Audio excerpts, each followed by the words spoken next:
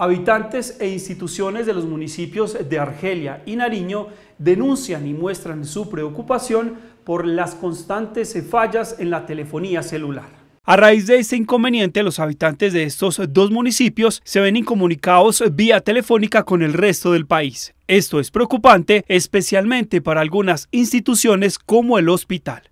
Así pues que la señal claro desde Argelia, eh, que está tan deteriorada, nos perjudica mucho el andamiaje del proceso administrativo para una buena referencia y contrarreferencia de nuestros pacientes hacia otros niveles de salud.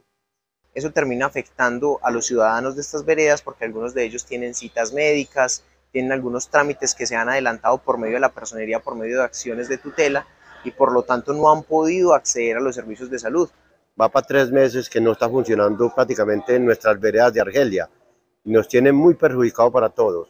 Ni en el municipio prácticamente se pierde la señal y nos, nos tiene perjudicado para todos los trámites que tenemos que hacer en el municipio.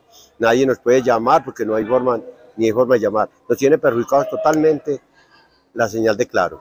Ni subiéndose a un palo, ni subiéndose a los morros altos, ya no hay señal. Hasta la administración municipal ha enviado derechos de petición a las diferentes entidades que vigilan y acciones de tutela sin que se le haya dado solución al problema.